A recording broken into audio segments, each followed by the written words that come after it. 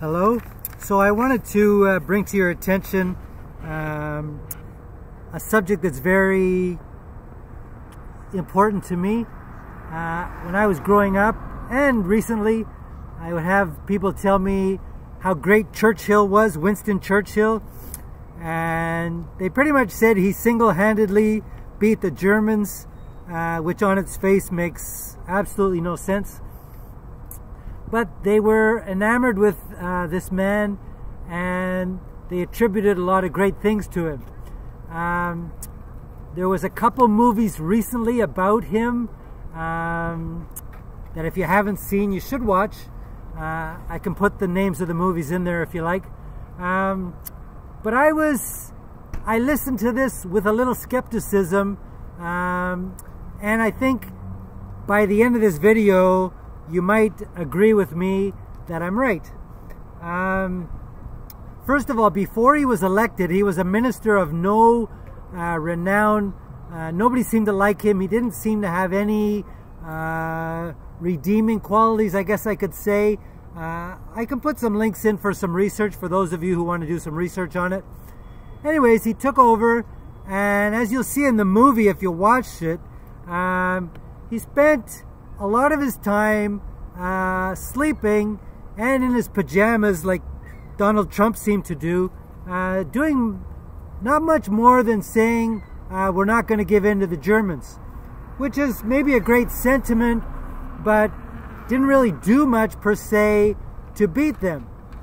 So Q today when I was reading The Guardian, it asked the question, why are uh, people in Britain not able to come to terms with um, his legacy, and I'll put a link in for that as well. Um, so let's pause for a minute and uh, let me introduce uh, Malcolm Gladwell, who I began reading years and years ago. I think he's absolutely brilliant. Uh, so he wrote a lot of really good books. And he also has a podcast called Revisionist History that if you haven't listened to, you should. He brings out some great topics and he points out things that most people don't um, take into account or haven't thought about very much. So one of his uh, episodes was about Churchill and his um, right-hand man, let's say, um, who Malcolm points out was a very brilliant man, was very intelligent man. Um, Malcolm says the second greatest uh, mind, but I, I don't know if I would just necessarily agree with that. But anyways, he was very brilliant. And he points out the example that when Indian people in India needed help by having them transport, um, using the ships to transport uh, rice to India, that um, Churchill's right-hand man pointed out that all the ships were being used and were occupied, which was not true. And this led to one of the great famines in history. Um, and if you have any doubt about this, there's a book called Bengal Famine, uh, which I'll put a link in as well. You can read that. So anyways, it points out that the reason they chose not to help India was out and out racism.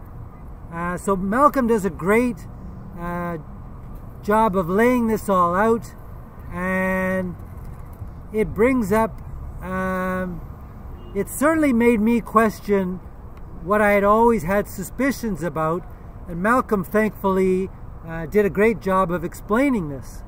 Um, I don't know how this could not have come out before. Uh, it seems that people don't want to point out some obvious things if it pokes an eye into prevailing wisdom about a certain topic. So now the Guardian pointed out today why are Britons so reluctant to come to terms with um, the obvious realities about Churchill. So I'm going to put all the links in for this and you can come uh, to your own conclusion. Uh, but on this point, there seems only one obvious conclusion. Um, so I'll put that all in. But I would love some people to comment.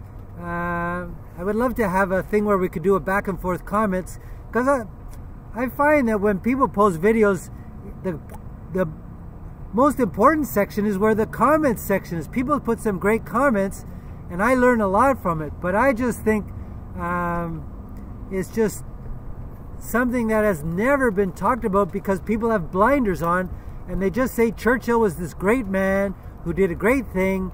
Um, but I totally disagree. Um, it just seems that, uh, as I learned, the history is written by the winners, and the only, the winners only want to write what makes them sound good. Uh, but more and more journalism is happening now where we question the prevailing wisdom and we put uh, counterpoints, and this is certainly one that's been a long time coming. Um, Britain did a great thing by standing up to Hitler, but it was the people and the pilots that did the legwork and the great um, uh, did a great job, and it wasn't necessarily just Churchill.